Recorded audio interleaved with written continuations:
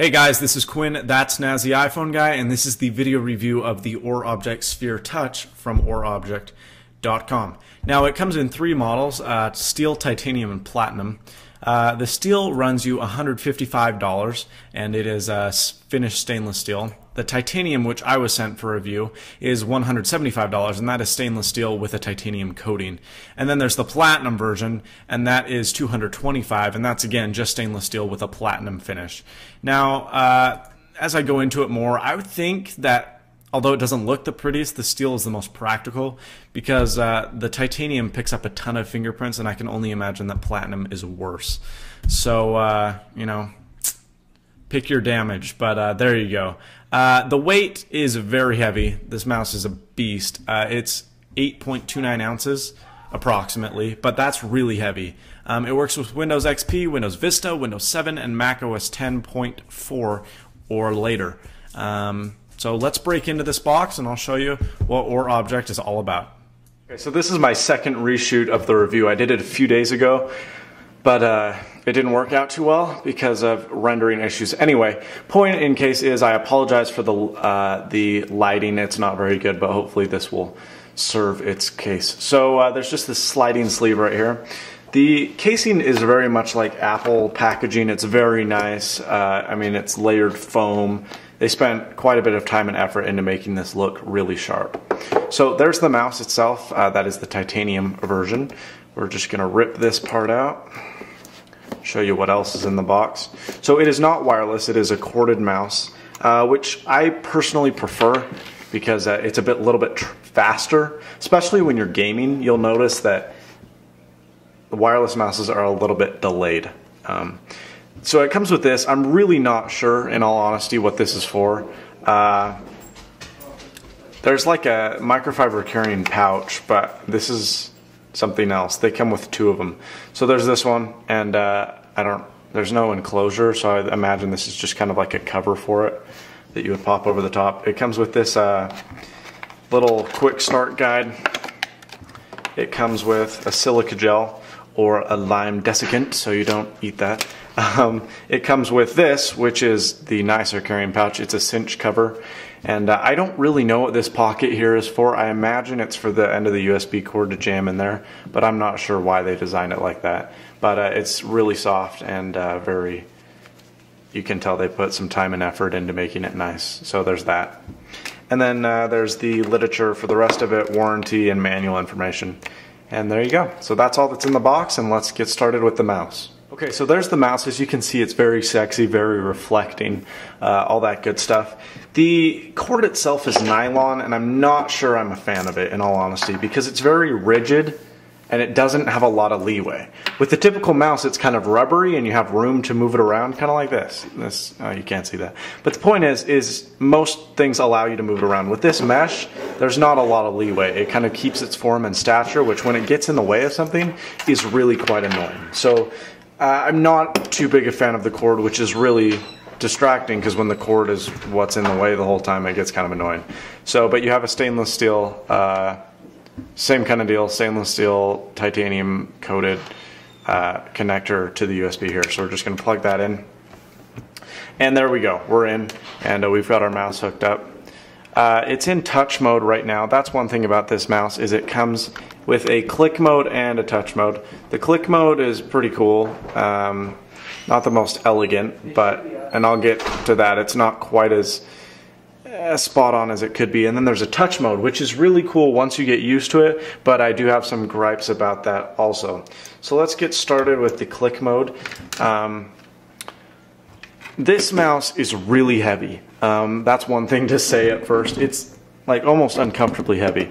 You would not want to lift this up if what it's meant to be used on is a hard surface. You're not supposed to use a mouse a trackpad with this mouse. See that cord's already getting in the way.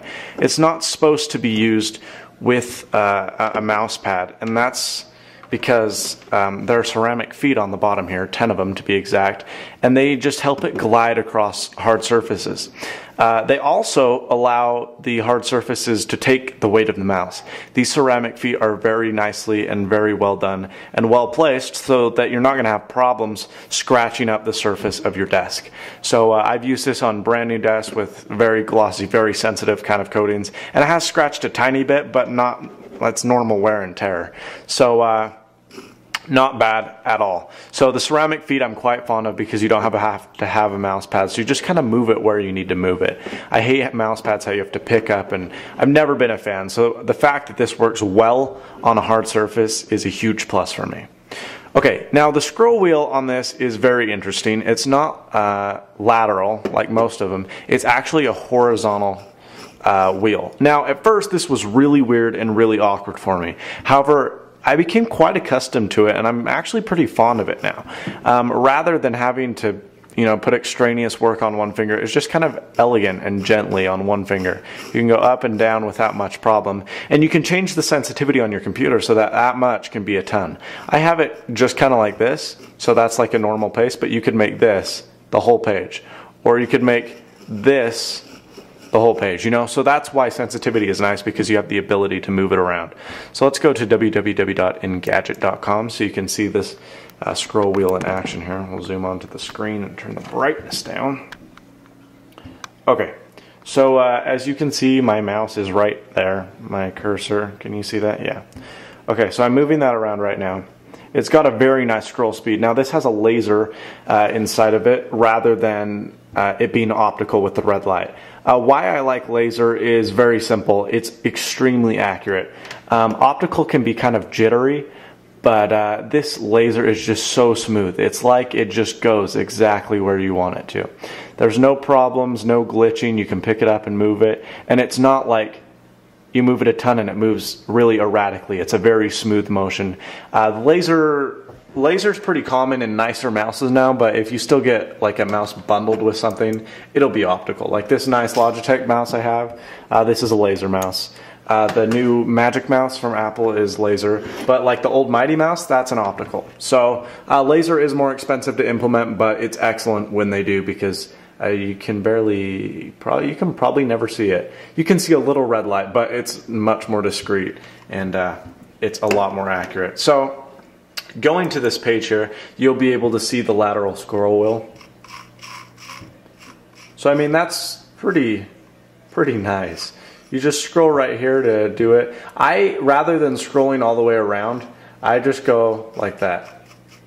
And it's really, really nice, actually. Um, it's not as uncomfortable as one would think. It's really odd at first. However, now it's uh, a lot more easy to use, and I've gotten used to it, and I actually prefer it to the uh, regular system. Now, the mouse clicking, um, I'm not a huge fan of. It comes in click and touch mode. Click is not my favorite because it's not very ergonomical. Um, ergonomic, there you go, ergonomical.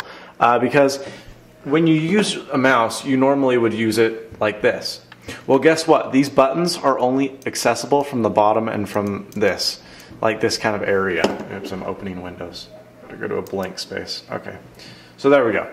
Um, you can touch it here and here, but here, where one would probably normally touch it, like me, it doesn't work. And that's really irritating because you have to move your hand up on the mouse.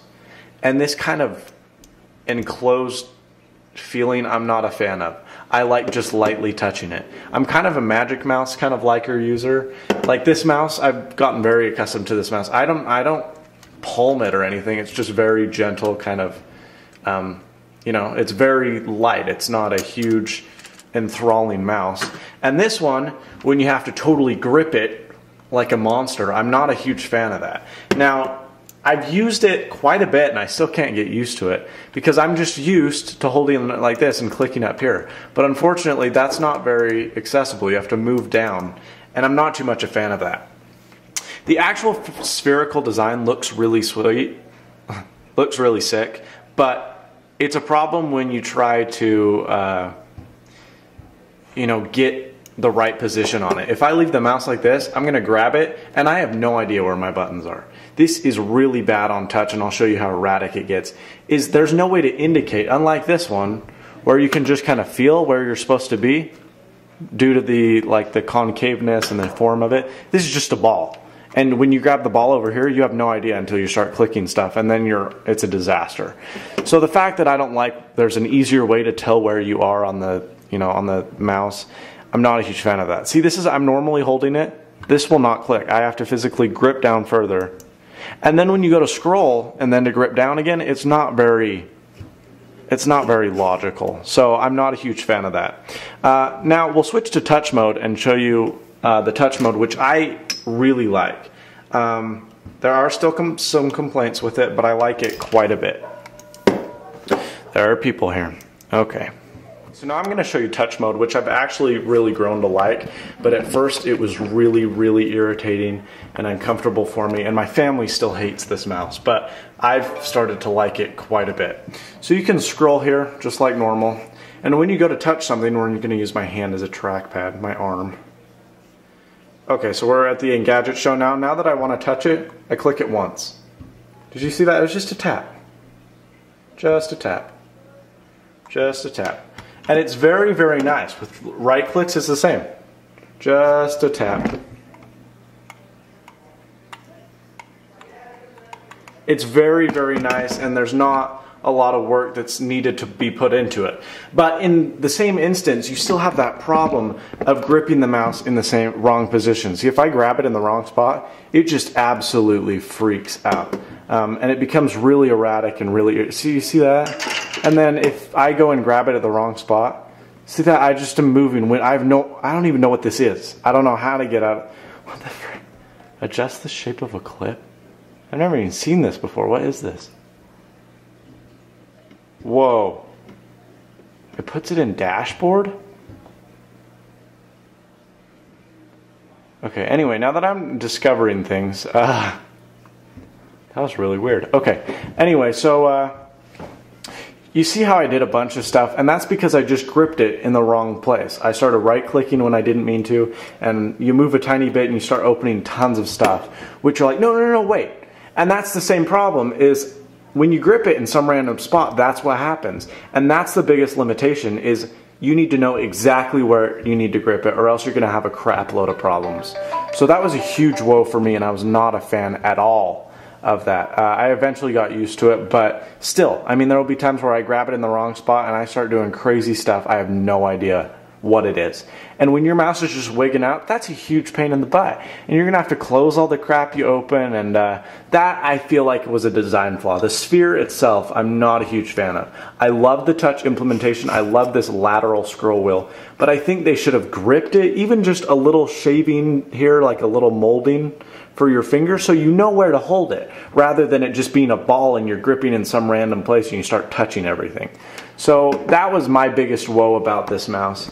Um, another woe about it is it gets quite a few fingerprints. I washed my hands right before this review so I don't have much stuff to spread around. But uh, when your hands are dirty, it just is an absolute disaster. So uh, you have to be able to adjust and conform to this mouse rather than the mouse conforming to you. So that's a limitation I wasn't very fond of. My final review on the OreObject SphereTouch is a 6 out of 10.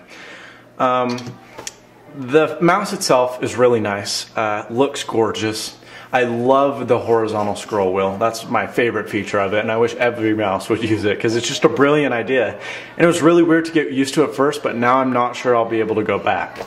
Um, so I really like that feature. It looks sharp, feels sharp. Um, you know, it's it's a great mouse. The laser tracking is excellent. It's very accurate and very fast due to the USB cord. Now, there are a few things that I absolutely hate. One is the cord. It does not bend, it does not move, and it just gets in the way. I'm constantly moving the cord out of the way, and that really doesn't make your experience better. So am I gonna pay $175 to move the cord out of the way? No. Which is what I hate about this mouse the very most. Next is it fingerprints like crazy. If that bothers you, which it does me, it'll drive you absolutely insane. If you don't care about that kind of stuff, you know, whatever, it'll be a great mouse. But for me, ah, I would much rather get the steel one than the titanium. I would spend 20 bucks less and get a mouse that looks just as good and get a mouse that I can use without worrying about what it looks like and being bothered and constantly looking at how nasty it looks because I haven't cleaned it off in 25 minutes, you know? So that's another thing I'm not a huge fan of. The next is, uh, there's no way to really tell where you're gripping the mouse. And that's a huge problem on the touch setting because you grab it in some random space and it just clicks like crazy. And you're like, no, no, no, wait, what am I doing? So I really, really do not like that feature. That's the other, that's my second biggest woe is you just grab it and you have no idea where it is. Um, the other limitation is when you're using the click mode, if you click up here, nothing's gonna happen. Even if you click right here, nothing's gonna happen. You have to move to 50% or lower, and then you're gripping the mouse like a bear, and I don't really like that. So I do like the fact they implemented both things in there for you to be able to choose. Um, I love I love, I love the heft and the weight of it. It feels really, really sturdy, durable. I don't think anything's gonna fray or break anytime soon. It's built really, really solid.